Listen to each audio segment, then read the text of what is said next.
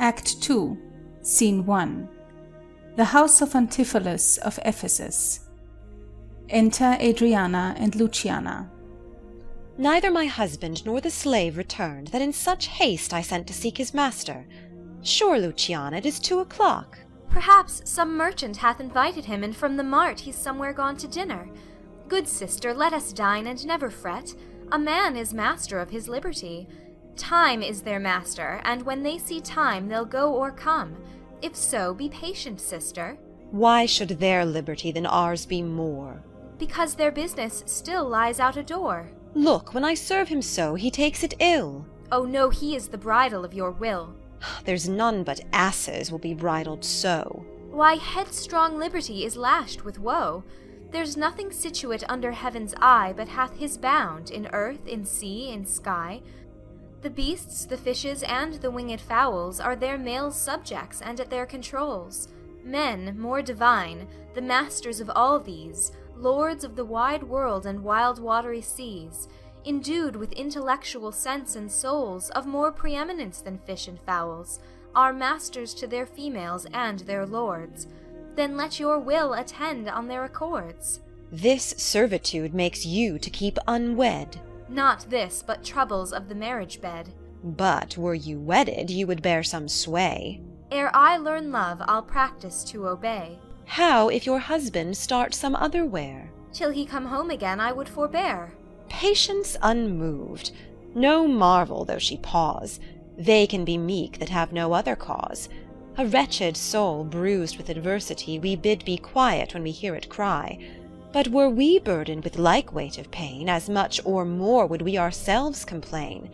So thou, that hast no unkind mate to grieve thee, with urging helpless patience wouldst relieve me. But if thou live to see like right bereft, this fool-begged patience in thee will be left. Well, I will marry one day, but to try. Here comes your man. Now is your husband nigh.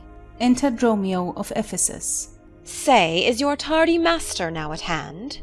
Nay, he's at two hands with me, and that my two ears can witness. Say, didst thou speak with him? Know'st thou his mind? Ay, ay, he told me his mind upon mine ear. Beshrew his hand, I scarce could understand it. Spake he so doubtfully thou couldst not feel his meaning? Nay, he struck so plainly, I could too well feel his blows, and withal so doubtfully that I could scarce understand them. But say, I prithee, is he coming home? It seems he hath great care to please his wife. Why, mistress, sure my master is horn mad. Horn mad, thou villain? I mean not cuckold mad, but sure he is stark mad. When I desired him to come home to dinner, he asked me for a thousand marks in gold. "'Tis dinner time,' quoth I. My gold,' quoth he. Your meat doth burn,' quoth I. My gold,' quoth he. Will you come home?' quoth I. My gold,' quoth he. Where is the thousand marks I gave thee, villain? The pig,' quoth I, 'is burned.' 'My gold,' quoth he. My mistress, sir,' quoth I. Hang up thy mistress, I know not thy mistress. Out on thy mistress!' Quoth who? Quoth my master. I know,' quoth he. No house, no wife, no mistress.' So that my errand due unto my tongue, I thank him, I bear home upon my shoulders, for in conclusion he did beat me there. Go back again, thou slave, and fetch him home. Go back again? And be you beaten home? For God's sake, send some other messenger. Back, slave, or I will break thy pate across. And he will bless that cross with other beating. Between you I shall have a holy head. Hence, prating peasant, fetch thy master home. Am I so round with you as you with me, that like a football you do spurn me thus? You spurn me hence, and he will spurn me hither. If I last in this service, you must case me in leather. Exit.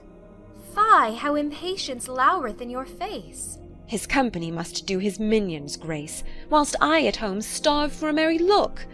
Hath homely age the alluring beauty took from my poor cheek? Then he hath wasted it. Are my discourses dull, barren my wit? If voluble and sharp discourse be marred, Unkindness blunts it more than marble hard. Do their gay vestments his affections bait? That's not my fault, he's master of my state. What ruins are in me that can be found By him not ruined? Then is he the ground Of my defeatures. My decayed fair A sunny look of his would soon repair, But too unruly dear he breaks the pale And feeds from home. poor I am but his stale. Self-harming jealousy, fie, beat it hence. Unfeeling fools can with such wrongs dispense. I know his eye doth homage otherwhere, or else what lets it but he would be here? Sister, you know he promised me a chain. Would that alone, alone he would detain, so he would keep fair quarter with his bed. I see the jewel best enamelled will lose his beauty. Yet the gold bides still that others touch, and often touching will wear gold, and no man that hath a name by falsehood and corruption doth it shame. Since that my beauty cannot please his eye, I'll weep what's left away, and weeping die. How many fond fools serve mad jealousy. Exeunt. Scene 2. A public place. Enter Antipholus of Syracuse. The gold I gave to Dromio is laid up safe at the Centaur, and the heedful slave is wandered forth in care to seek me out by computation and mine host's report. I could not speak with Dromio since at first I sent him from the mart. See, here he comes. Enter Dromio of Syracuse. How now, sir? Is your merry humour altered? As you love strokes, so jest with me again. You know no centaur. You receive no gold. Your mistress sent to have me home to dinner. My house was at the Phoenix. Wast thou mad that thus so madly thou didst answer me? What answer, sir? When spoke I such a word? Even now, even here, not half an hour since. I did not see you since you sent me hence, home to the centaur with the gold you gave me. Villain, thou didst deny the gold's receipt, and told me of a mistress and a dinner, for which I hope thou felt'st I was displeased. I am glad to see you in this merry vein. What means this jest?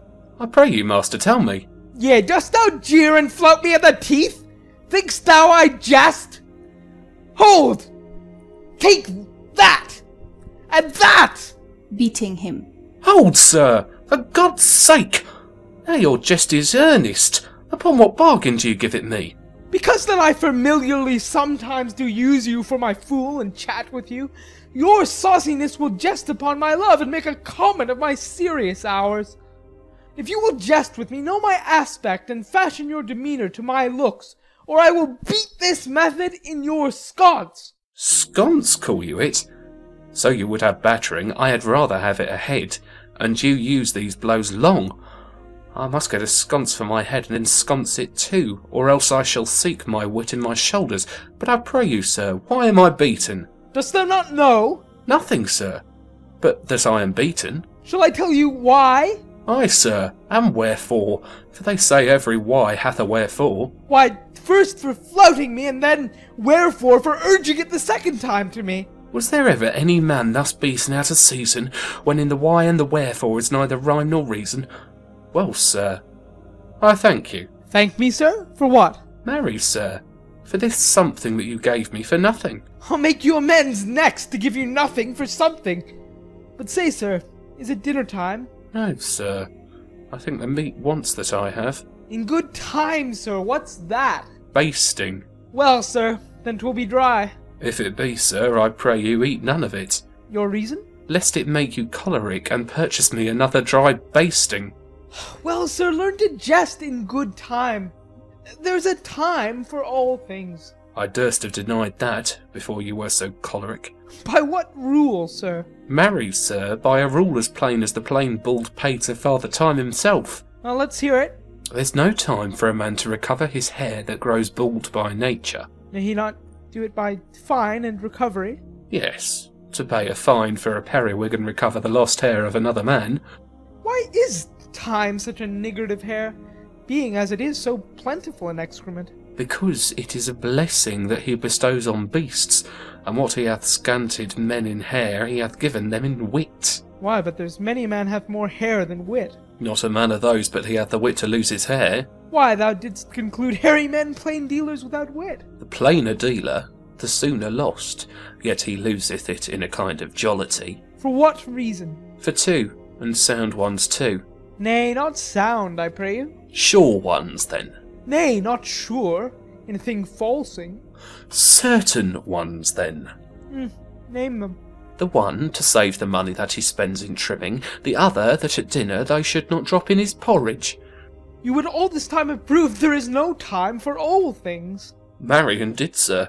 Namely, no time to recover hair lost by nature. But your reason was not substantial why there is no time to recover. Thus I mend it. Time himself is bald, and therefore to the world's end will have bald followers. I knew 'twould be a bald conclusion.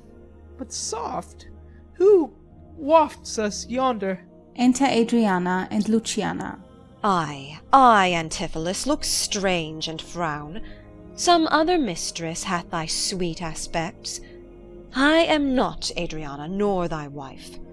The time was once when thou unurged wouldst vow that never words were music to thine ear, that never object pleasing in thine eye, that never touch well welcome to thy hand, that never meat sweet savoured in thy taste, unless I spake, or looked, or touched, or carved to thee. How comes it now, my husband? Oh, how comes it that thou art thus estranged from thyself? Thyself I call it, being strange to me, that undividable incorporate am better than thy dear self's better part. Ah, do not tear away thyself from me.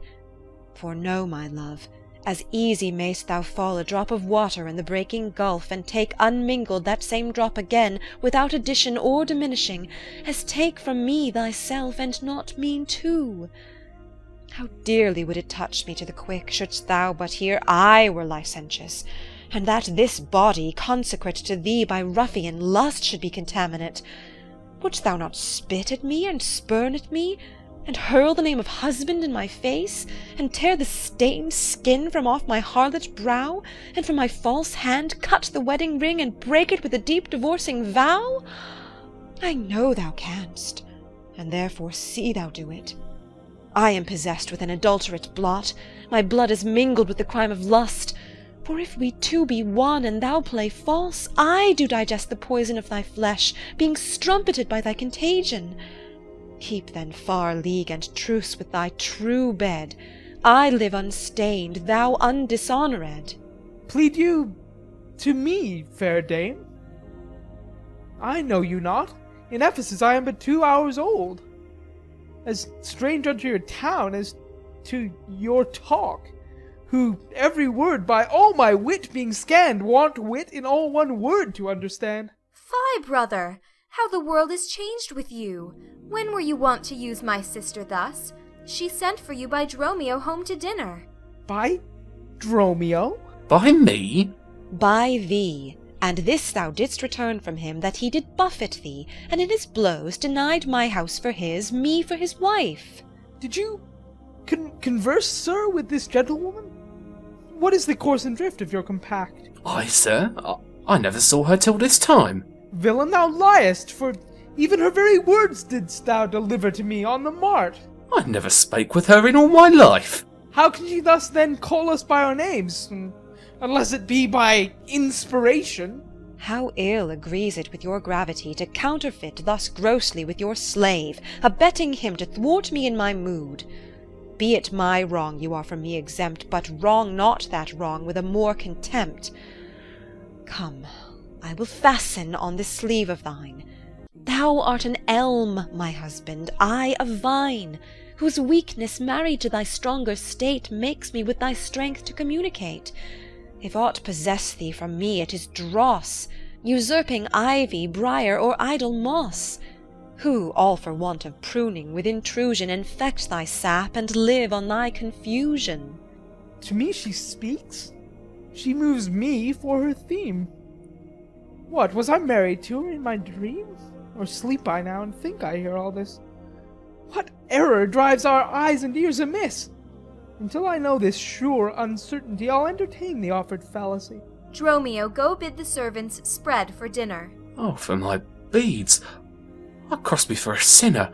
This is the fairyland. Oh, spite of spite! We talk with goblins, owls, and sprites. If we obey them not, this will ensue. They'll suck our breath, or pinch us black and blue. Why pratest thou to thyself and answerest not? Dromio, thou drone, thou snail, thou slug, thou sot! I am transformed, master, am I not? I think thou art in mind, and so am I. Nay, master, both in mind and in my shape. Thou hast thine own form. No, I am an ape. If thou art changed to aught, 'tis to an ass. 'Tis true. She rides me, and I long for grass. 'Tis so. I am an ass. Else it could never be but I should know her as well as she knows me. Come, come, no longer will I be a fool to put the finger in the eye and weep, whilst man and master laugh my woes to scorn.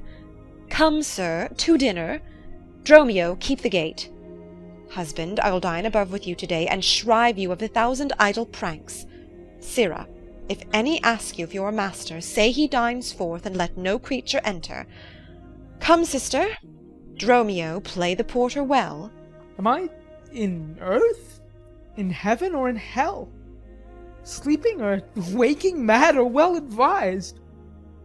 Known unto these, and to myself disguised? Huh, I'll say as they say, and persever so, and in this mist at all adventures go. Master, shall I be porter at the gate? Ay, and let none enter, lest I break your pate. Come, come, Antipholus, we dine too late. Exeunt. End of Act 2.